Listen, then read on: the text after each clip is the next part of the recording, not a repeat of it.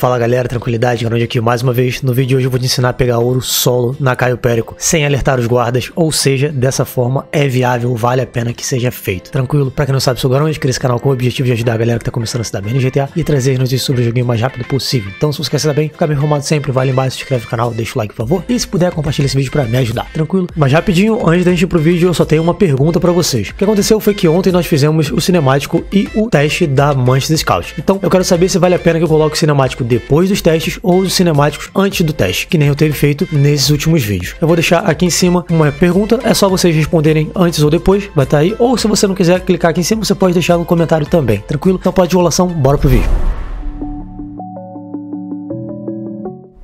E obviamente daremos créditos a quem trouxe isso para nós. Então, viu 2486 aí, esse cara foi o que trouxe isso pra gente mais uma vez. E além dele, nós temos também Denauzi, Denauzi, algo assim. Então o link deles vai ficar aqui na descrição. Esse Denalce foi esse cara que trouxe esse bug da porta para nós coletarmos o ouro solo e furtivamente foi ele que trouxe isso pra gente. E como funciona isso? No que consiste isso? É bem simples, você vai se encostar na porta, vai se escorar na porta e você vai logo em seguida mirar para dentro da casa. É bem simples, o grande problema é que você precisa praticar isso até você conseguir fazer isso num time certinho, num time perfeito para você conseguir abrir a porta de primeira. Mas, como tudo, é só questão de prática. Mas então, o macete aqui é qual? Quando você se encosta na porta, você tem que colocar o seu personagem virado para a posição oposta que a porta abre. Ou seja, se a porta ela abre da direita para a esquerda, o que você vai fazer é colocar o seu personagem virado para a esquerda. No momento que você quiser que a porta abra, imediatamente pressionar o botão que faz ele virar para o lado oposto, então para o lado direito, e imediatamente já mirar para dentro da casa. E caso a porta abra ao contrário, ela abra da esquerda para a direita, você vai fazer exatamente a mesma coisa, só que invertido. Então, o que você vai fazer é simples, você coloca o seu personagem escorado na porta, olhando para a direita. Quando você quiser que a porta abra, você vira imediatamente o seu personagem ou seja, utiliza o botão para virar à esquerda e já vai mirando para dentro da casa, que isso vai fazer com que a porta abra. Ou seja, a única coisa que nós precisamos saber aqui é qual a direção que a porta irá abrir. Mas Garonde, como eu vou saber qual a direção que a porta abre? Cara, é só você olhar a maçaneta. Tem uma maçaneta na porta. Se a maçaneta está na direita, ela abre da direita para esquerda. Se ela está na esquerda, ela abre da esquerda para direita. É simples assim. Ou seja, dessa forma você consegue abrir qualquer porta da casa do Elrube. E mais uma dica aqui: limpem sempre os guardas que ficam ao redor da porta que você quer entrar. Porque você não quer, no final, quando você vai, consegue finalmente abrir a porta, vem o guarda e estraga toda a brincadeira. E agora eu vou mostrar para vocês como isso funciona na prática. Então vamos lá, três coisas que você precisa prestar atenção aqui. Você não pode esperar seu personagem virar o rosto. Então, por exemplo, ela tá aqui, se você esperar essa animação de virar o rosto, não vai dar certo que ela vai sair da porta. Segundo,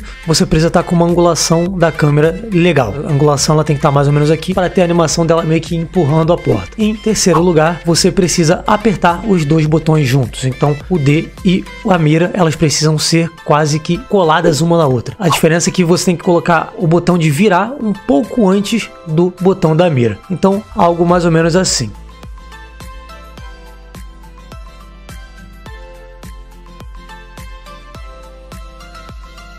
Viu?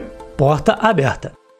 E agora nós podemos aqui coletar o ouro. Então é bem simples, a única coisa que você precisa fazer é pegar o timing certinho. Encosta na porta, tenha a angulação correta que você vai conseguir abrir a porta. E mais uma coisa, caso você saia da porta, ela ficará trancada novamente. Então colete tudo que você tiver coletar, beleza? Caso você saia, você vai ter que fazer o bug de novo para poder abrir a porta. A porta está aberta aqui mais uma vez e eu posso coletar todas as mesas de ouro sem nenhum problema. Além disso, eu posso sair pelas outras portas. Então tá aqui, ouro coletado, eu posso vir coletar a minha segunda mesa de ouro e já era. Resolvido o problema. Pronto, coletamos a mesa de ouro, as duas, e caso você queira fazer isso nessa área aqui, você pode fazer também. Caso você queira fazer nessa porta, também funciona. Então, basicamente, isso funciona para todas as portas na casa do El Rubio. E agora é minha vez de concluir o golpe. Tranquilo?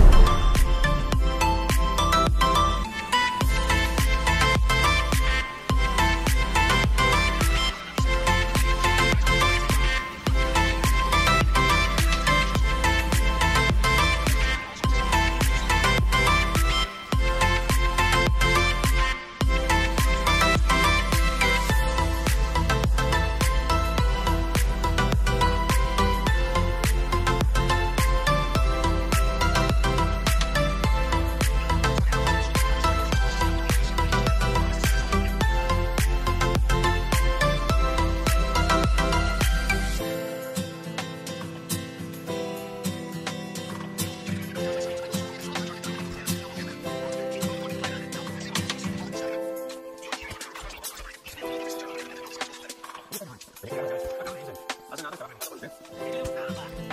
you.